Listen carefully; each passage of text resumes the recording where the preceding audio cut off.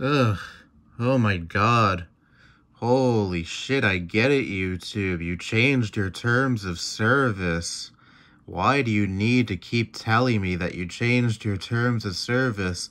I got like 18 emails in a fucking row, or almost in a row. Some were video comments in between, but I deleted those just to show the sheer amount of times that YouTube sent me the same exact email telling me that on January 5th, 2022, that their terms of service are being updated. Like, holy shit, YouTube, I get it. I got the fucking hint you are making changes to your terms of service. You are updating your terms of service.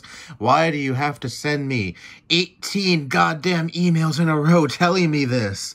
Like, I have never never experienced this before. I don't know if anyone else has experienced something like this, but I don't know. And yes, it's all uh, it's all sent to the same email. I'm on. I am specifically in the. Uh, I'm specifically in the inbox that is for the email I use for my YouTube channel.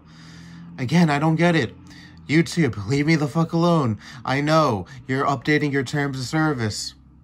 Whoop-de-doo. I will probably read it. I don't know. Maybe I won't. but, uh, still cool, neat. You don't need to tell me 18 goddamn times or however many times you've told me this. I kind of got the hint the first time you sent me the email. Do not bother me. Thank you very much. That is all I have to say. Bye-bye.